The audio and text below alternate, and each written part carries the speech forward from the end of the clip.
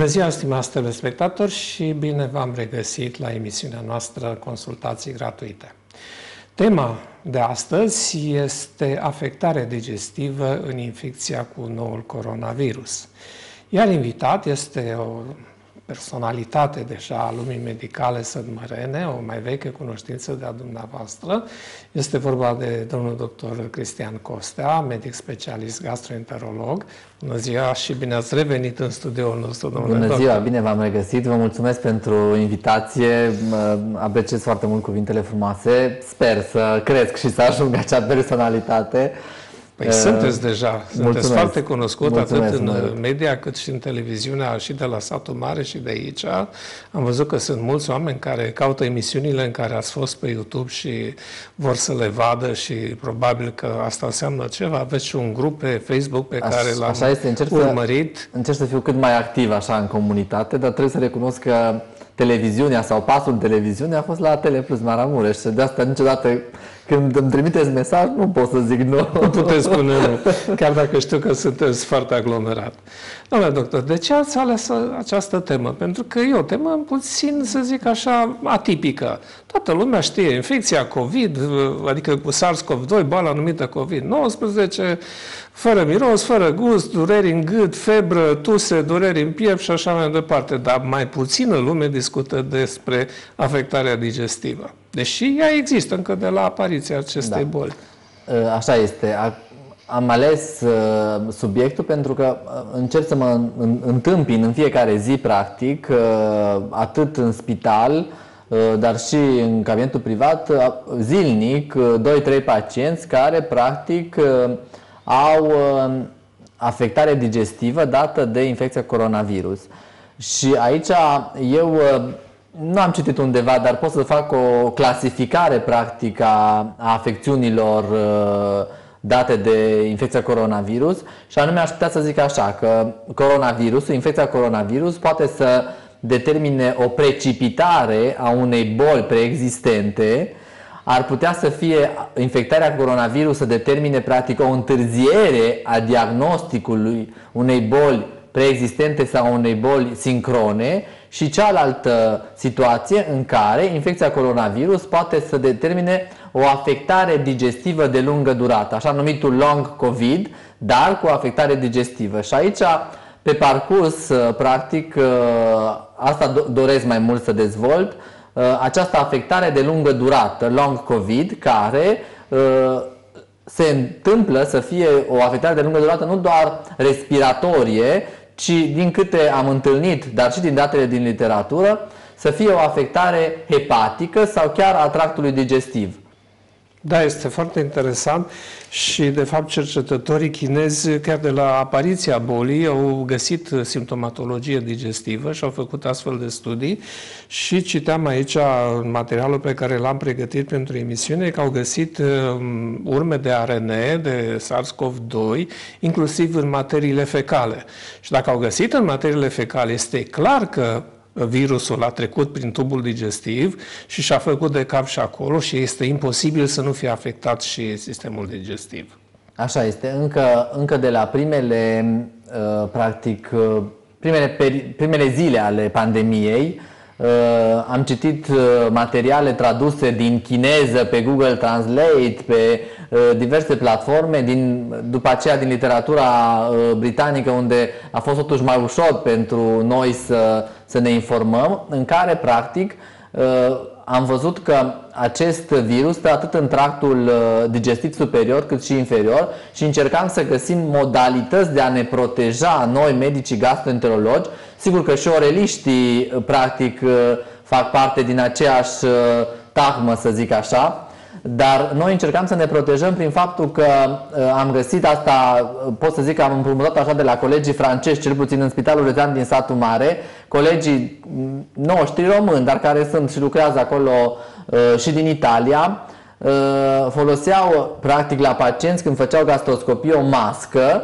uh, chirurgicală, mască făceau o, o găurică mică și puneau uh, piesa bucală în așa fel încât tot aerosolii care vin practic în timpul gastroscopiei erau reduși practic de purtatul uh, măștii, în așa fel încât eram și noi mai protejați. Personalul medical că, să nu fie afectat, exact. desigur. Și la fel era și în, în, la cronoscopie, încercam iarăși să păstrăm aceleași măsuri de protecție, dar acolo nu este într-adevăr contactul atât de periculos.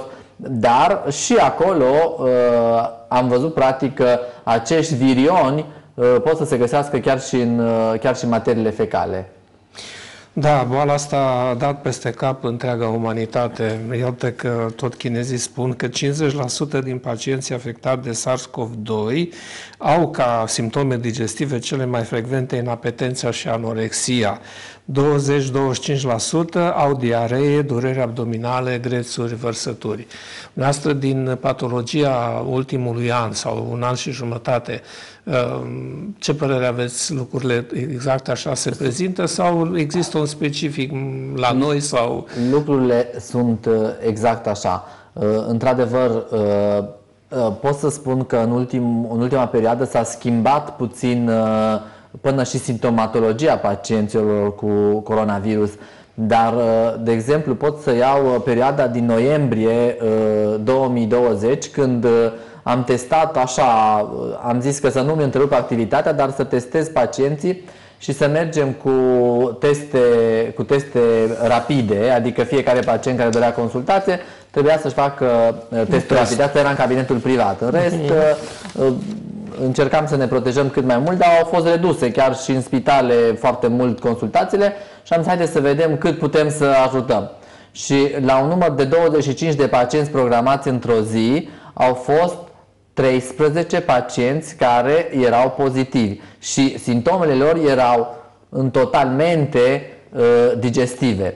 Și aici, sigur, grețuri, vărsături, disconfort abdominal sau durere în uh, etajul abdominal, uh, abdominal superior și o parte dintre ei uh, aveau diaree, crampe abdominale, însoțite sau nu de altă simptomatologie care de multe ori, exact cum vă spuneau, precipita o simptomatologie digestivă.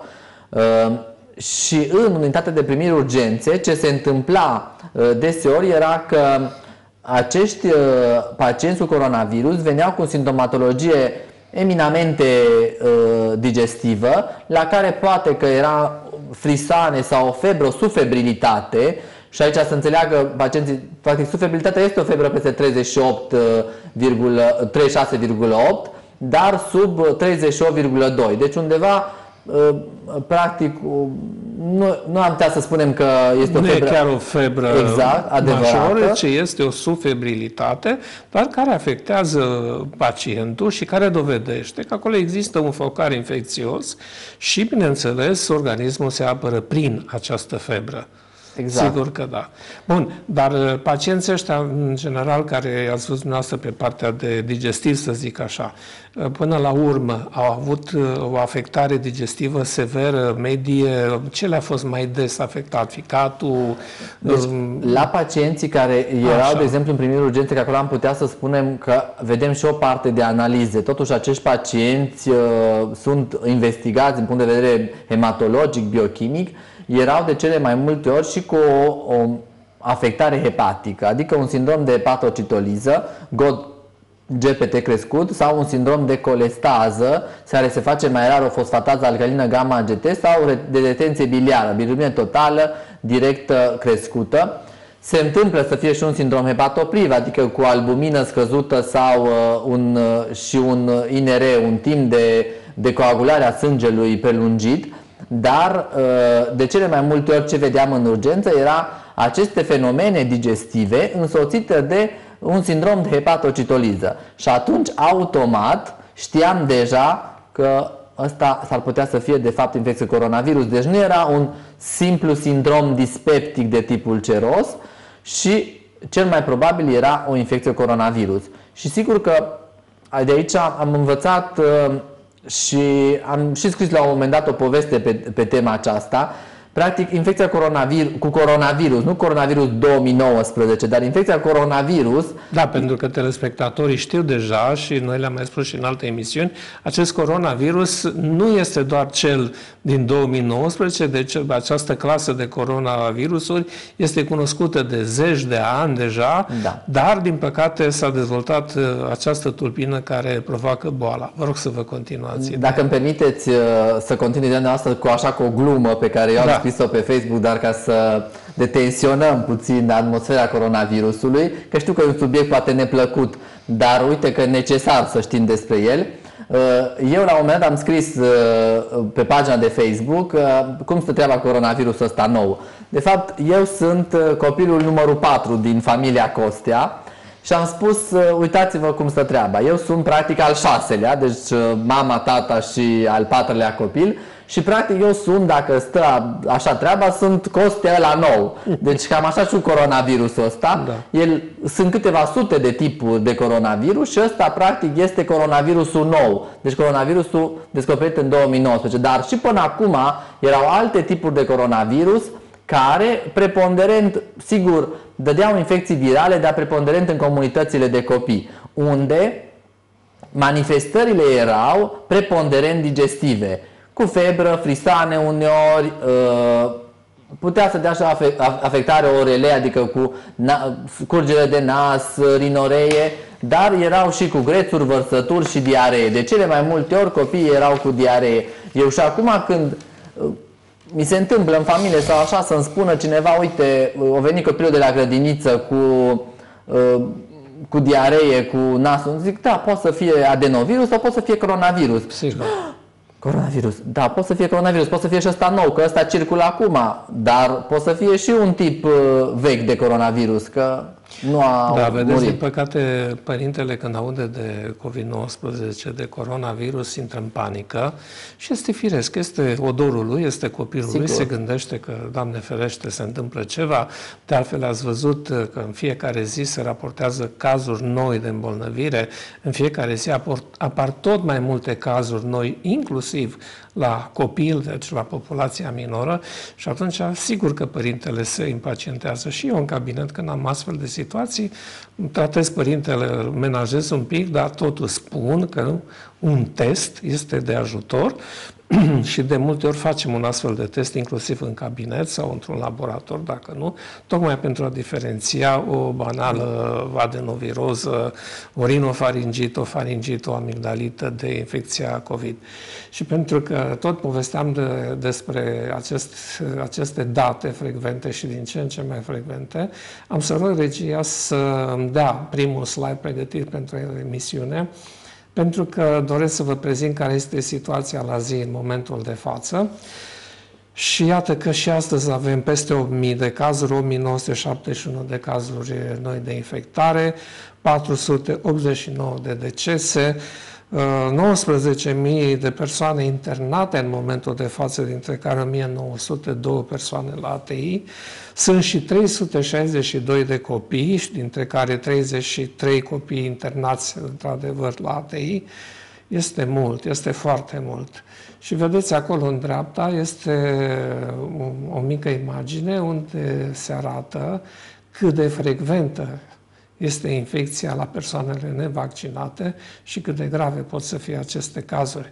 Mai mult, persoanele nevaccinate, dacă se infectează cu coronavirus, uh, sunt atât de contagioase 14 zile, uh, raportat la 4, doar 4 zile la persoanele care sunt deja vaccinate.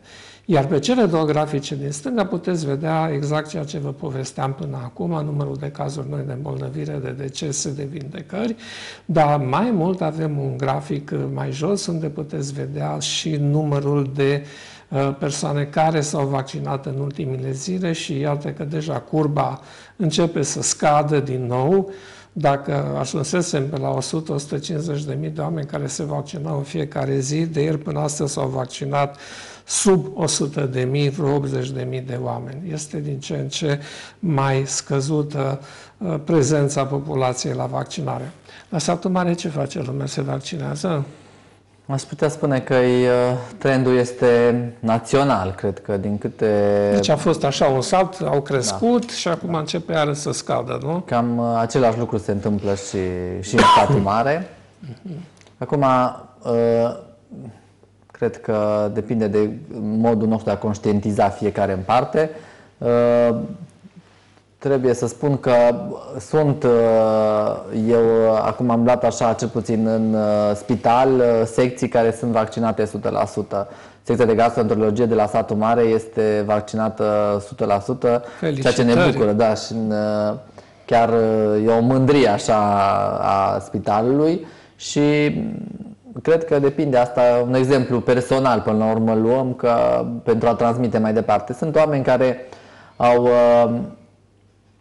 au stat mult, zic eu, dar uh, au avut diverse motive, uh, probabil că și teama de, de nou, dar și teama de ac la unii, și, și teama de, exact, și neîncrederea, și neîncrederea în autorități, și neîncrederea în medici, din păcate, uh, toate astea au făcut să stea pe gânduri, dar uh, Cred că timpul este să, să facem pasul ăsta și noi uh, în față și să nu lăsăm mai prejos la țările dezvoltate, practic.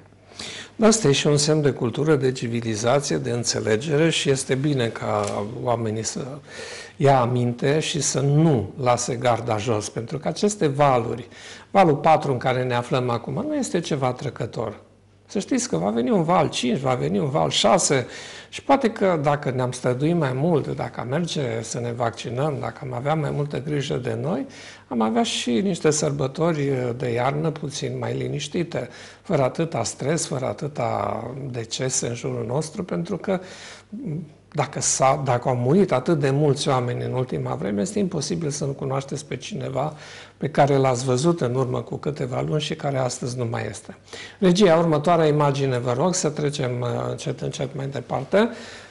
Haideți, și mai mult de da. atâta, cred că e discuția și despre persoanele care au văzut, practic, persoane care s-au vaccinat și Sigur. care s-au îmbolnăvit, probabil, dar uh, au făcut o formă ușoară, ușoară. sau uh, fără simptome. Și aici vorbim de oamenii cu adevărat vaccinați, pentru că, din păcate, se descoperă din ce în ce mai mult... Asta uh, este un subiect foarte de, dureros, să știți, mai ales dureros, când sunt uh, implicați și colegi pentru, medii și cadre exact, medicale medici, medii. Și, uh, și asta trebuie să, fie atenți, să fim atenți, pentru că uh, dacă vedem cazuri grave, trebuie să ne punem cu siguranță de două ori întrebarea dacă omul a chiar fost vaccinat cu adevărat sau a fost o vaccinare, vaccinare fictivă. fictivă. Mm-hmm. Așa pentru că e. și asta face să, să scadă neîncrederea în vaccin. Faptul că apar forme grave după vaccinare și care, uite că s-au dovedit unele dintre ele că de fapt uh, nu au fost uh, vaccinați. Și oamenii care nu au avut vaccinul și uite că în terapie intensivă la satul mare, uh, săptămâna trecută am fost de gardă, era plină terapia intensivă, nu aveam niciun loc și am întrebat, doamnă doctor, câți sunt nevaccinați? Mi-a spus niciunul. Adică toți erau nevaccinați. Toți erau nevaccinați. Cam așa este peste tot în țară. Dar se întâmplă într-adevăr să fie și oameni vaccinați. Se întâmplă, așa este. Se uneori aceștia fac forme mai ușoare, nu fac da. forme grave. Da, următoarea imagine, spuneam, regia, este cea care am eu pe monitor. De ce am vrut această imagine? Pentru că este un raport asupra numărului de decese pe fiecare lună în parte. Și uitați-vă la luna octombrie a acestui an, peste 10.000 de decese. Comparativ cu lunile anterioare, cu lunile de vară, cu ce a fost anul trecut, eu zic că este foarte mult. 10.000 de oameni într-o singură lună este mult, da, a murit, enorm. A murit este un, o comunitate întreagă. A murit un oraș uh, da, mic. mic. Da, așa este. Următoarea imagine, regia, vă rog pentru că mai avem câteva slide-uri și apoi ne întoarcem. Da, aici este vorba despre acel uh, rapel, deci doza a treia, atât la Pfizer, la Moderna, cât și la AstraZeneca. Uh, ceea ce este nou față de săptămânile anterioare că este nou faptul că și la Johnson Johnson se va putea face rapel la șase luni de zile de la prima doză și puteți vedea că se va putea face rapel cu oricare dintre vaccinurile existente pe piață. Atenție, aceasta este o informație informație nouă, încă nu avem documentația primită, deci nu vă aruncați acum cei care v-ați vaccinat cu Johnson Johnson repede la medicul de familie să primiți doza booster. Așteptați puțin, cu siguranță săptămâna viitoare sau cel mult peste două săptămâni vom primi și documentele oficiale. Următoarea imagine, vă rog. Aici este o imagine cu vaccinarea la nivel național, cu procentele de vaccinare și acolo sus puteți vedea că și sănmărenii și maramureșenii sunt sub 40% din uh, populație vaccinați, ceea ce nu poate fi foarte bine. Sunt mult alte județe, puteți vedea, Constanța, Brașov, uh, ne mai vorbim de București sau alte zone din țară unde lumea s-a vaccinat în proporție mult mai mare. Dar regia următoarea imagine, să putem continua și de aici, domnule doctor, imaginea și microfonul va aparține, pentru că da. acestea sunt imagini care au fost propuse de domnul doctor, tocmai având în vedere tema emisiunii. Vă rog. Uh, foarte frumos le-a spus pe amândouă. Da. Cred că ați intuit ce vreau să discut. Uh, practic, uh, ceea ce am și vrut să atrag atenția este că acest virus, coronavirus, această infecție coronavirus, nu determină doar afectare pulmonară, așa cum uh, tinde lumea să creadă, ci determină și afectare, în primul rând, uh, uh, pulmonară, dar și afectare digestivă. De ce? La, s-a constatat că, de fapt, există un receptor AC2 care acesta este poarta de intrare a virusului în celulă și acest, acest receptor este se găsește într-o cantitate mare atât la nivelul celulelor hepatice, cât și la nivelul tractului digestiv, stomacului și uh, intestinului. Și așadar poate să determine uh, intrarea în, uh, în celulele uh, și a tractului digestiv și, și hepatice. Uh, practic, uh, ceea ce am văzut uh, la pacienți că se, întâmpl, se întâmpla în uh, primele valuri ale pandemiei era că cei care au, și așa și la discuția, dacă faci, uh, uh, ai afectare digestivă cu simptomele pe care le-am precizat, atunci s-ar putea să faci o formă, o formă ușoară. Acum, practic, ce am întâlnit și întâlnesc destul de des sunt pacienți care vin în cabinetul, în cabinetul medical și care au o boală, o boală existentă sau preexistentă, dar de care nu știu, care nu este uh, diagnosticată și la care se asociază această infecție coronavirus și din câte am văzut, formele de boală uh, sunt moderate spre severe. Uh, am urmărit acești, uh, acești pacienți și am văzut că de fapt fac și o afectare, o afectare digestivă deseori, dar uh, poate că sunt, uh, sunt cazuri singulare, n-aș putea să trag o concluzie, o concluzie generală, dar am avut, de exemplu, pacient cu boală inflamatorie intestinală, cu boală croncolită ulcerativă, care e acea boală care merge cu diaree, cu scaune cu sânge și cu, și cu mucus, uh, și care uh, au răspuns extrem de greu la, la tratamentul uh, standard, specific, da. specific și uh, Uh, care au făcut o formă destul de severă uh, de, de coronavirus.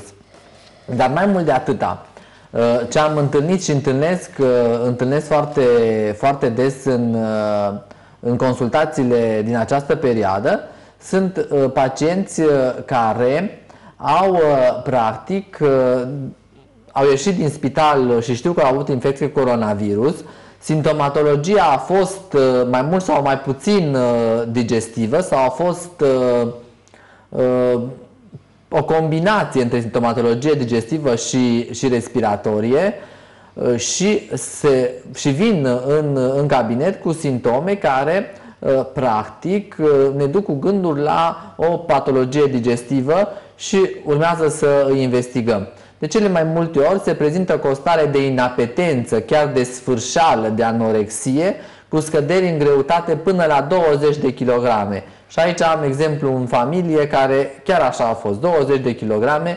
Am căutat, am investigat că scăderea în greutate atât de marcantă uh, se spune duce, ceva rău. Spune ceva rău și atunci Uh, încercăm să investigăm, dar în cele din urmă s-a dovedit a fi doar această infecție cu, uh, cu coronavirus. A fost și, și, a fost și cu diaree?